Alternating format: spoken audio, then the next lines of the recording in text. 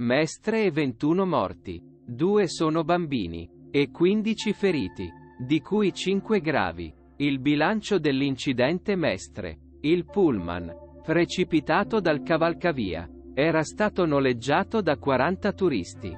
Molti stranieri. Che si trovavano nel camping U di Marghera. L'autobus stava percorrendo il cavalcavia del ponte che porta da Mestre a Marghera e o l'autostrada. A4 quando per cause ancora da accertare si è schiantato. Poco prima delle 20, effettuando un volo di circa 15 metri. Nel primo tratto in discesa l'autobus ha sfondato il parapetto ed è caduto tra un magazzino e i binari della stazione di Mestre. Poi ha preso fuoco. Il veicolo, alimentato a batteria ibrida metano-diesel, potrebbe aver preso fuoco dopo aver toccato i cavi elettrici. Il sindaco Luigi Brugnaro una tragedia enorme. L'autobus coinvolto nell'incidente stava andando da Venezia a Marghera. È andato completamente fuori strada. È volato giù dal ponte. Siamo in lutto. Il protocollo emergenza ecco cosa prevede l'autobus è precipitato dal cavalcavia Vempa a Mestre non. È ancora chiara la dinamica dell'incidente potrebbe trattarsi un malore del conducente Nello. Schianto oppure di una manovra sbagliata in un punto dove erano in corso i lavori rifacimento del cavalcavia. Gli investigatori sono al lavoro per capire le cause. La polizia stradale sta effettuando i rilievi c'è da verificare la traiettoria della caduta. Lo stato del manto stradale.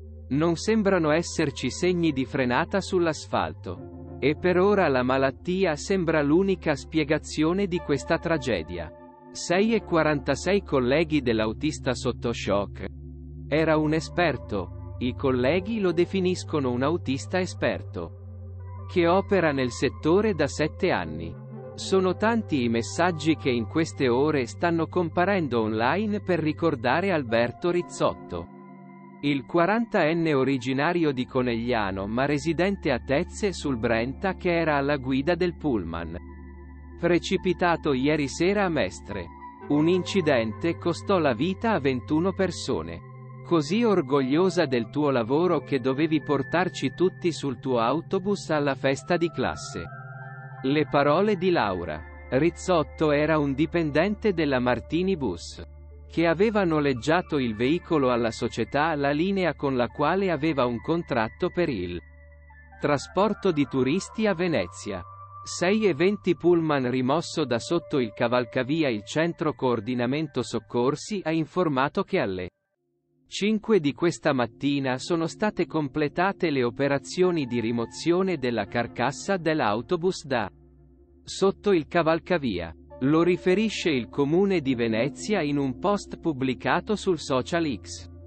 La strada sulla rampa Rizzardi direzione Marghera è ancora interrotta per consentire la messa in sicurezza della zona. Si legge nel post 1 e 41 i soccorritori. Un dramma di giovani. L'impressione visiva. Dopo la rimozione dei corpi. È che siamo di fronte ad una tragedia di giovani. Se non giovanissimi. Tranne qualche adulto. A parlare è uno dei capi dei soccorritori. Ancora sul posto dopo lo schianto dell'autobus a Mestre. Il supporto non è stato ancora rimosso perché deve raffreddare.